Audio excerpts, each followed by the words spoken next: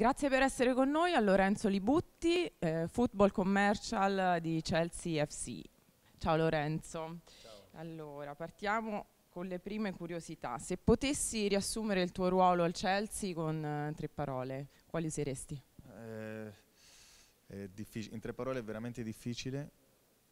Posso dire allenatore, giocatori, commerciale. Queste sono le tre parole tu ti trovi nel mezzo, diciamo, a questi tre insomma, importanti pilastri de, del calcio, della società. Sì, esatto, io faccio da, da filtro quello che sono eh, gli uffici, diversi uffici, che può essere marketing, sponsorizzazioni, charity, foundation del club, che non hanno quel contatto con eh, i giocatori, perciò io faccio da filtro eh, con l'allenatore e i giocatori.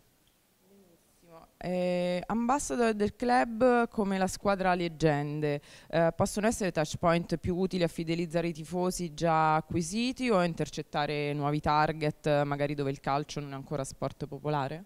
Eh, secondo me con le leggende è difficile ehm, attrarre nuovi, un nuovo audience perché le leggende sono, sono, ehm, sono ex giocatori che eh, hanno già un, un, loro audience, no? e allora eh, secondo me serve di più a fidelizzare quelli che sono, eh, quello che è il core, no? il core audience del, del, dei tifosi.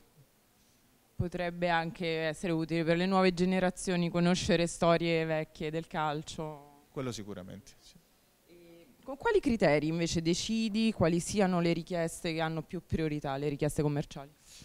Eh, non è facile ovviamente, eh, noi abbiamo il dipartimento di sponsor che, ehm, che, le richieste sono la maggior parte contrattuali, perciò è ovvio che quelle, ci sono delle priorità, ehm, però adesso sta crescendo molto anche quello che è tutti i contenuti in-house, perciò di marketing, eccetera. Allora bisogna lavorare eh, con tutte e due, no? E, alla fine, fine l'importante, quello che dico sempre, è, fare le attività. Poi, se una viene prima o dopo, eh, quello si, si discute internamente, alla fine si riesce a fare tutto.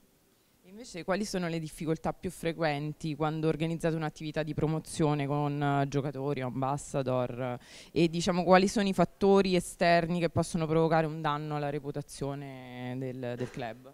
Le difficoltà più frequenti sono ovviamente tutte esterne a, a quello che è il, um, il mio personale, no? perché ovviamente quando vengono richiesti diciamo, tre giocatori per fare un tipo di attività, noi possiamo avere tutto il planning che vogliamo, possiamo eh, decidere che giocatori utilizzare, questo con un mese di anticipo, ma i giocatori oggi sono comunque delle persone, sono, sono, sono, sono umani, no? normali, allora e sono soprattutto giocatori di calcio, perciò si possono infortunare, ehm, il giocatore può essere, ehm, si può perdere nel, nel traffico l'allenatore può decidere di dare un giorno off. Allora sono diverse dinamiche che possono, possono creare dei problemi in last minute, poi anche, cioè, anche, fa parte anche del mio ruolo provare a soluzionare queste. No? Certo.